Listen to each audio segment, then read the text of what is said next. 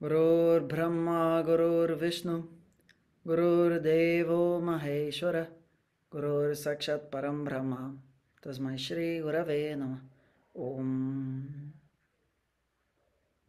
Namastê. Namastê. Muito bem. Voltamos a nosso livro, texto fundamental do Divine Forces of Lunar Nakshatras. e uh, esse capítulo 9 sobre Savitra da Nakshatra de Hasta vai da página 88 até a página 96. E começa com um dos mantras que vocês provavelmente já ouviram na vida. Tat Savitur Varenyam Bhargo Devasya Dhimahi Yo Prachodayat. Aqui traduzido como ah, que nós a, alcançamos, alcancemos a magnificência da radiância de Savitri e que ele possa é, estimular as nossas, aqui ele coloca como visions, mas dia aqui eu acho que seria mais discernimento e etc. Então que a gente tenha luz divina para que a gente possa, como a gente já conversou antes do intervalo, ter clareza entre o que, é eterno e o que, não é eterno. Bom, então, esse é chamado de Savitri Gayatri, e ele não é o Gayatri, ele é o Savitri Gayatri, que é um dos infinitos Gayatris que existem, que vai ter, por exemplo, de Ganesha. Ekadantaya Vidmahe Vakratundaya Dhimahi Tanno Danti Prachodayat então, vão existir infinitos Gayatris com esse formato, um nome Ekadantaya. Cinco, um nome de cinco sílabas daquele Devata, Vidmahe Vakratundaya. Outro de cinco sílabas, Dimahi. E aí, Tano, aí outro de duas sílabas, Prachodayat. Essa é a estrutura que qualquer devata que você quiser, inclusive se for um católico, se quiser botar um nome de cinco sílabas, um nome de cinco sílabas e um nome de duas sílabas, aquilo forma um Gayatri para São Jorge, se você assim preferir. Mas, ah, esse Gayatri mantra, ele especificamente tem uma importância muito fundamental no quando a criança nasce, porque teoricamente quando a criança nasce, o pai deve cantar no ouvido direito esse mantra, ah, não importa se é homem ou se é mulher. E esse mantra, ele ah, também é utilizado muito numa das ah, dos ritos importantes dessa cultura, que é chamado de Upanayama, que é quando existe o, o aceite de um mestre, de um Júpiter, de um guru, ah, por aquele aluno ser seu aluno. Então, o processo de iniciação da busca do que, que é a verdade que não é corroída pelo tempo. Essa gnana, ela é começada por, por invocar esse poder de Savitara, que é aquele que nos traz efulgência divina para enxergar o que, que é permanente, enxergar a função do que, que é cada coisa no seu devido tempo. Ok? Então, essa essa característica ela é muito associada ao estado do Sol nascendo, por razões que a gente já conversou antes no intervalo, e pela característica disso ter também a noção de empurrar algo de fazer com que algo saia de um estado é, adormecido, de um estado potencial para um estado manifesto. Que a gente saia da nossa condição encarnado num corpo humano dentro de um processo kármico para a gente alcance a condição humana no sentido dármico, aonde a gente está tendo clareza sobre que muitas das coisas que a gente está vivenciando são processos kármicos e não dármicos, e ficar repetindo processo kármico não vai levar a gente a lugar nenhum. Então, é esse tipo de sabedoria, é esse tipo de clareza que esse Devata, ele está impelindo, que ele está empurrando. Ok? Então, esse foi o, a introdução, falando um pouco sobre esse mantra. Agora vamos chegar à parte do do papel de proteção que essa nakshatra, que esse devata também tem. Então tem uma história lá que a gente já passou, que é quando o ah, Prajapati estava fazendo um ah,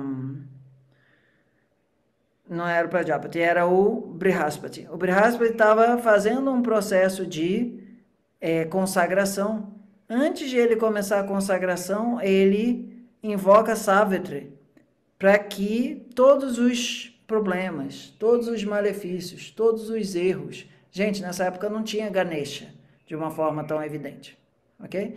Eles fossem desobstruídos, eles fossem protegidos, eles fossem livrados através da presença de Savitri, ok? Por mais que o Ganesha, de um ponto de vista histórico, existisse já há bastante tempo em outras partes, ele ainda não tinha uma versão, se não tinha Shiva, eh, também não tinha Ganesha, do ponto de vista védico, ok? Então, o Savitri, ele era esse primeiro deus a ser invocado para que houvesse nenhum erro, que houvesse nenhum acidente, que houvesse nenhum descuido, que houvesse nenhuma falta de presença enquanto aquilo dali estivesse sendo feito, ok? Então, dentro dos padais que a gente coloca, né, sendo do, do Ares ao Câncer, esse aspecto de ser ah, aquele que dá o start, aquele que dá a primeira ignição e etc., pode ser bastante associado a Ares, mas essa proteção religiosa, essa proteção sagrada, essa proteção consagrada, tá também bastante possível da gente associar aquele ah, padá associado a carca. Aqui vai aparecer uma a invocação que é hum, relacionado a como é que é o nome disso? Ao, ao itcha, né, ao desejo que a gente conversou. Quando Quando o, o ritual começar, ah, to, quando um ritual começa, todos os devatas se colocam à disposição e pensam: eu serei o escolhido, eu serei o escolhido. Essa pessoa vai me chamar. E diante de todos esses, essa, digamos assim, esse ruído acontecendo ao geral, ao geral aquele que deve ser chamado antes, para que o chamado aos deuses aconteça, deve ser de Savitri. Que ele seja o padroeiro dos processos de consagração. Então, isso dá uma visão muito diferente do que a nossa visão virginiana de organização e etc., para um lugar muito mais. É, padre ritualístico, que também cabe dentro da visão de virgem ocidental em algum grau, mas é uma visão mais desbotada. Da mesma forma como o dia renasce a vida no lugar, né, naquele ponto do planeta, Savitri renasce a capacidade da gente chamar a Deus. Você lembra da época da telefonista? Eu não peguei muito essa época, mas que seja que antes de você ligar para alguém, você ligava para telefonista, a telefonista ligava para o número, certo? Então, assim, pelo menos do ponto de vista do filme, eu peguei um pouco essa época. Então, esse lugar de ligar para telefonista, para telefonista ligar para a pessoa, essa, essa função ali, que era esse ponto intermediário, era esse Savitri. E aí, depois disso, iam existir outras oito ou doze manifestações de proteção que faziam com que aqueles rituais acontecessem.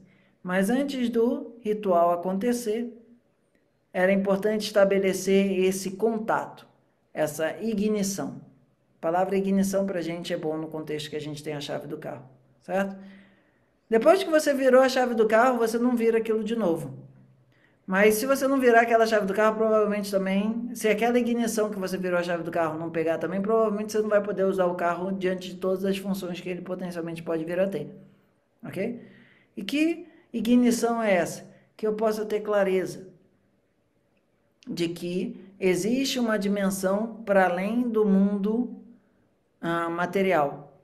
Que eu possa ter clareza que no mundo material todas as coisas têm o seu devido lugar no espaço-tempo. Passado esse devido lugar no espaço-tempo, essas coisas desaparecem.